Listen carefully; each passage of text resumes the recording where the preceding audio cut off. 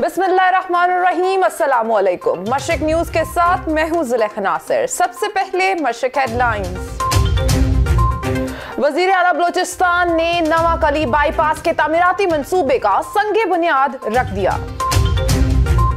سبی میں سالانہ تین روزہ تبلیغی اجتماع آج سے شروع ہوگا۔ تبلیغی اجتماع میں ملک بھر میں لاکھوں کی تعداد میں عقیدت مند لوگ شرکت کریں گے۔ تین روزہ تبلیغی اجتماع کی اختتامی دعا اتوار کے روز ہوگی۔ I G F C Balochistan major general Fayyaz Hussain Shah کی خصوصی ہدایت پر ایف سی چمن کی جانب سے روغانی روڈ پر غریب علاج معالجے سے محروم افراد کے علاج کے لیے ایک روزہ فری میڈیکل کیمپ منعقد کیا گیا۔ صوبائی وزیر تعلیم بلوچستان سردار یار محمد رند کا اچانک Balochistan board intermediate secondary education کا دورہ طلبہ سے بورڈ انٹرمیڈیٹ سیکنڈری ایجوکیشن سے متعلق شکایات سنی۔ ڈیرم راج جمالی پولیس نے کراچی کے ایک مکان پر چھاپا مار کر مغوی لڑکی کو بازیاب کرا کر تین ملزمان کو گرفتار کر لیا۔ اغوا کاروں نے دو ماہ قبل لڑکی کو گھر سے اغوا کر کے اس کے والد کو قتل کر دیا تھا۔ کوئٹہ میں سینیٹر صحافی و تجزیہ کار لالا صدیق بلوچ کی دوسری برسی کی مناسبت سے کوئٹہ پریس کلب میں تقریب۔ ہیڈ لائنز آپ نے جانی، اب خبریں تفصیل کے ساتھ۔ کوئٹہ سے آپ کو اپڈیٹ کریں۔ محکمہ مواصلات کی جانب سے وزیر اعلیٰ بلوچستان کو تعمیری منصوبے پر بریفنگ دی گئی۔ دو رویہ سڑک، چھ اشاریہ نو کلومیٹر پر محیط ہے، جس پر تینتیس کروڑ روپے کی لاگت آئے گی۔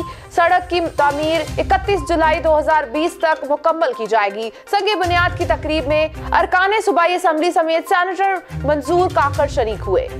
سبی میں سالانہ تین روزہ تبلیغی اجتماع آج سے شروع ہوگا۔ سیکیورٹی ذرائع کا کہنا ہے کہ تبلیغی اجتماع کے موقع پر پنجال کی سیکیورٹی کے لیے ایف سی پولیس اور لیویز فورسز کے اہلکاروں کو تعینات کر دیا گیا ہے۔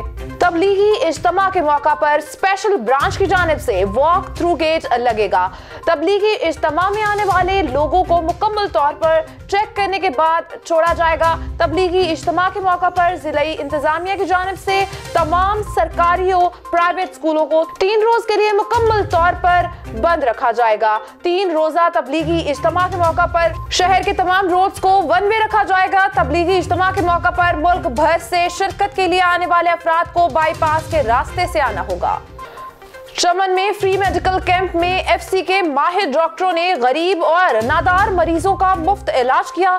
اور ان کو مفت ادویات فراہم کی اور ان کے مفت ٹیسٹ بھی کیے گئے۔ فری میڈیکل کیمپ کا ایف سی چمن کے کمانڈنٹ کرنل خرم جاوید اور wing commander lieutenant colonel Salman Feroz نے دورہ کیا اور کیمپ میں انتظامات کا جائزہ بھی لیا گیا اور مقامی افراد سے ملاقات کی۔ اس موقع پر علاقے کے لوگوں سے بات چیت کرتے ہوئے ایف سی چمن کے کمانڈنٹ کرنل خرم جاوید نے کہا کہ آئی جی ایف سی بلوچستان کے احکامات کی روشنی میں ایف سی حالیہ بارشوں اور برف باری سے متاثرہ لوگوں کی ہر ممکن مدد کر رہی ہے اور برف باری سے بند راستے کھولنے کے ساتھ ساتھ مفت میڈیکل کیمپ بھی لگا رہے ہیں۔